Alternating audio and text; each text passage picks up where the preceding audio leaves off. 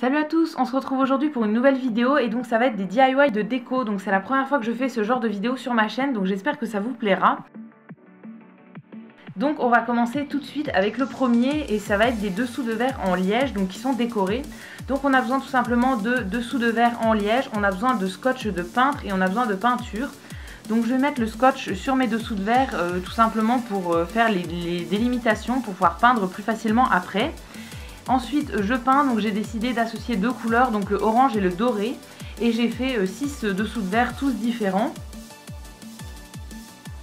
Et donc voilà ce que ça donne, donc je trouve ça très très sympa pour l'été, c'est vraiment cool. Ensuite, en deuxième, on va faire des bougeoirs en béton. Donc ça, c'est quelque chose que je voulais faire depuis très longtemps. Et donc ça y est, c'est fait. Donc en premier, je commence par faire mon patron. Donc je vais le découper dans du carton. Et ensuite, je vais euh, l'assembler avec du scotch, tout simplement. Il faut mettre quand même pas mal de scotch pour être sûr que ça tienne après. Parce que le béton, ça va être un petit peu liquide. Donc euh, voilà, il faut vraiment que ça tienne. Donc pour le ciment, je vous conseille d'y aller progressivement avec l'eau. Euh, voilà, je mets par petites doses d'eau et à chaque fois je mélange jusqu'à obtenir la consistance d'un espèce de yaourt un petit peu épais. Et je vais mettre ça dans mon moule. Donc euh, je pense bien à taper le fond pour que les bulles d'air ressortent et que ce soit bien uniforme. Et ensuite pour faire le trou, pour pouvoir mettre la bougie après, j'ai utilisé un petit verre de café jetable. Donc ensuite j'ai attendu à peu près deux jours que ce soit bien sec et je vais retirer le moule autour donc je découpe tout simplement les traits que j'avais fait au cutter et euh, voilà je vais pouvoir enlever le moule très très facilement. Et ensuite on va passer à la peinture donc euh, moi j'ai fait plusieurs modèles de bougeoirs et donc j'ai fait aussi plusieurs euh, différents types de peinture. Donc je suis restée toujours avec le orange et le doré et je trouve ça vraiment sympa, voilà ça décore un petit peu et ça faisait longtemps que je voulais le faire donc je suis très contente. Ensuite en troisième on va faire un petit mémo en liège, donc toujours avec de la peinture. Donc on aura besoin d'un mémo, alors moi je l'ai pris carré, c'est un qui vient de chez Emma. Et ensuite on a besoin de scotch de peintre, de peinture, donc moi j'ai choisi doré et noir et de punaise pour la fin. Donc je commence par mettre mon scotch de peintre euh, comme d'habitude pour faire la forme que je veux euh, faire après pour bien délimiter. Et ensuite je vais peindre, donc j'ai fait une bande sur deux en doré et une bande sur deux en noir. Je trouvais que ça rendait très très bien comme ça. Et donc ensuite j'attends pas que ce soit sec, directement j'enlève le scotch et je vais laisser sécher correctement. Et ensuite je trouvais que les bords étaient pas très jolis donc j'ai repassé tous les bords du cadre en noir.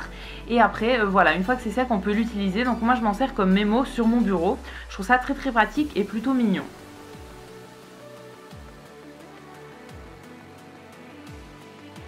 Ensuite en quatrième on va faire un tableau avec du fil tendu donc ça pareil j'avais envie de le faire depuis super longtemps. Pour le matériel il vous faut une planche de MDF donc moi j'ai trouvé ça dans un magasin de bricolage. Et ensuite, j'ai choisi de la peinture aussi pour la recouvrir. Euh, également, il vous faudra des clous et de la ficelle après pour pouvoir faire le fil tendu. Donc moi, j'ai choisi une ficelle qui est dégradée et qui vient de chez Action. Ensuite, je vais venir faire la forme que je veux, donc avec mon crayon de papier pour pas que ça se voit après. Et je vais planter des clous, donc moi j'ai choisi de les planter tous les centimètres. Ensuite, j'utilise une pince pour tous les enfoncer à la même hauteur, donc que ce soit plus joli après. Et une fois que c'est fait, on va passer au fil. Donc il suffit tout simplement de euh, passer le fil donc en croisé. À chaque fois, on va au clou qui est opposé. Et euh, à la fin, ça donne un, joli dégradé en fait, parce que moi j'avais pris un fil qui était dégradé. Donc voilà, je viens faire le nœud de la fin, donc j'ai bien fait deux nœuds pour fixer. Ensuite, je coupe le fil et voilà, c'est déjà fini. Je trouve ça très très joli. Euh, voilà, je l'ai mis en déco sur ma bibliothèque et je trouve ça vraiment sympa. Et en dernier, on va relooker un petit meuble donc avec de la peinture toujours. Donc j'ai choisi un tout petit meuble que j'avais depuis longtemps qui vient de chez Ikea il me semble. Et donc on aura besoin de scotch de peintre et de peinture. Donc euh, comme d'habitude je viens faire mes délimitations avec le scotch pour pouvoir faire des formes géométriques après. Donc voilà je l'ai fait un peu euh, au hasard. Je trouve ça sympa. Et ensuite j'ai pris plusieurs couleurs de peinture pour pouvoir faire mes formes.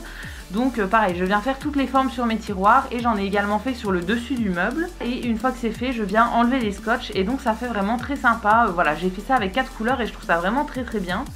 Donc ça je l'ai mis dans mon bureau, euh, c'est sur ma commode et ça me sert pour ranger mon agenda, tous mes petits accessoires de papeterie, etc. Et je trouve ça très très sympa. Si cette vidéo vous a plu, n'hésitez pas à la liker, à vous abonner, etc. Ça me fera toujours plaisir. Et quant à nous, on se retrouve très vite dans une prochaine vidéo. Et d'ici là, prenez soin de vous. A bientôt